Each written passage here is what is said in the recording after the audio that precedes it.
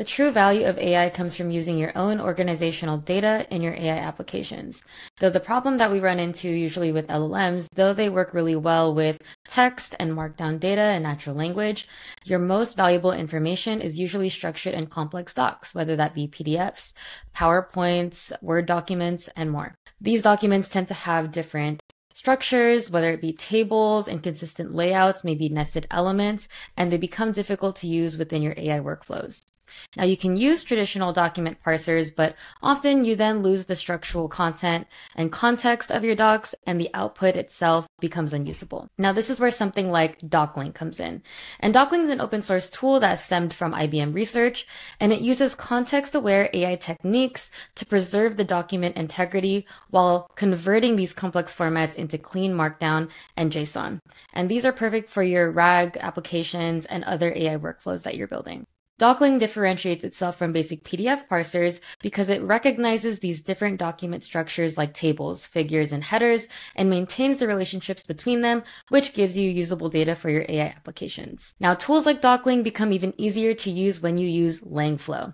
Langflow is a tool that allows you to seamlessly visualize your AI workflows, build your AI agents, and more. So today I'll be walking you through the newly added components of Docling that we put into Langflow and how to build document powered AI applications and workflows. Let's get started. So I'm going to go ahead and jump into Langflow and create a new blank flow. And you just have to search Doclings here in the component search. And there's the Docling bundle.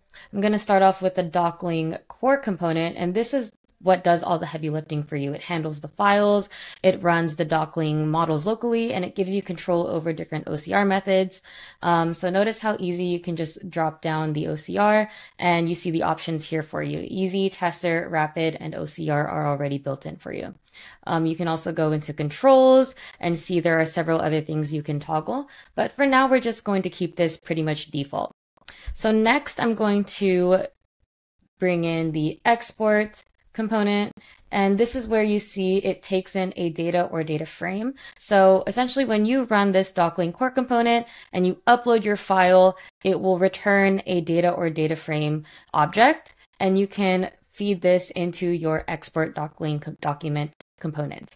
And this is pretty much where the magic happens. So notice in the export format, which is the output we should expect from this component, we have several different options. We have Markdown, HTML, plain text, and DocTags. And even if your file has some images, so maybe a PDF document, then you can also use different export modes. Um, you can choose to either use a placeholder or embed the image.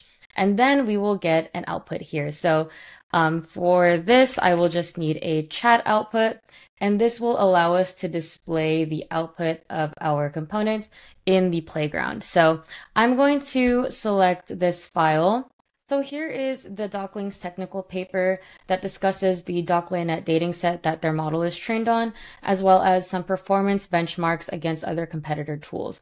But notice how this paper has several different types of formats and structures to it. Um, it has tables with different numerical values. It has images. It has um, a dual com- column structure here as well. It has several paragraphs with its own context. So things like this will def- definitely demonstrate how Docling is able to handle these complex formats for documents. So I will be uploading this into the core Docling component. Okay, so what I have here now is the core Docling component, which is handling the file upload. Then we have the export Docling document component, which is giving us the choice of the export format. In this case, I chose plain text, and I'm using a parser to stringify that output and give that back to us in the playground. So let's go ahead and run this.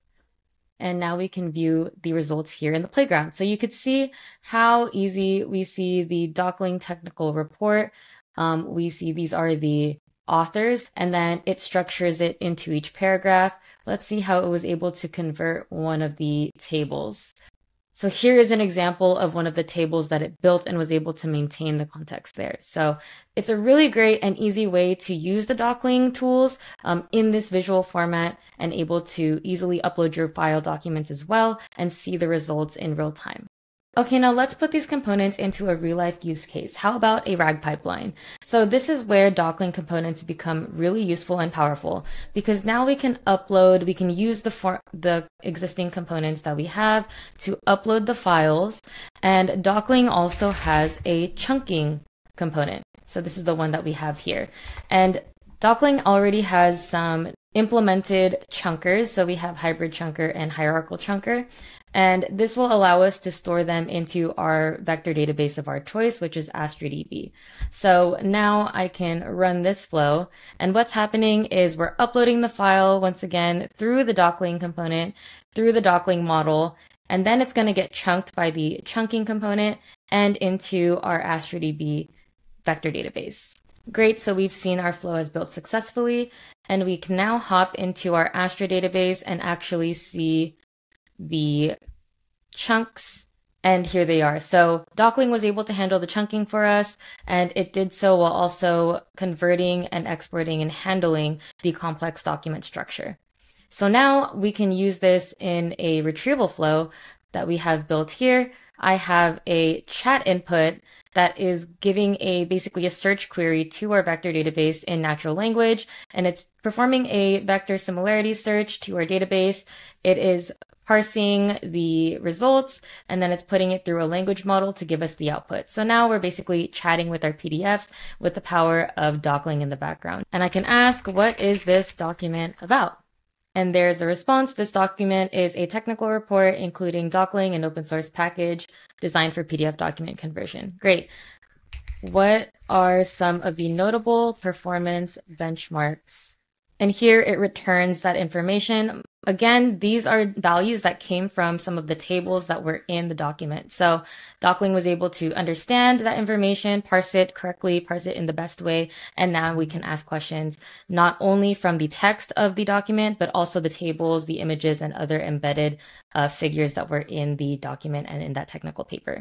So what did we get here as the end result? We have our ingest flow, which allows us to load the data using the power of the Docling components and then chunk them into these context aware chunks to store into our vector database, which allows us to build visually through Langflow this retrieval flow that allows us to take those technical concepts, the structures, the concept, the con complex tables and images from the report and use them and still be able to reference them in this question and answer flow. So those are the three Docling components that we're going over today. It takes out the heavy lifting of processing documents for your AI workflows, for your RAG retrieval flows, and for other GenAI workflows that you are trying to build. You can toggle with the different OCR methods and get a little bit deeper into those just by configuring the component itself. And that's the beauty of using Docling in a platform like Langflow. Definitely try out the powerful Docling components and use them in Langflow's platform platform. I'm excited to see what you build.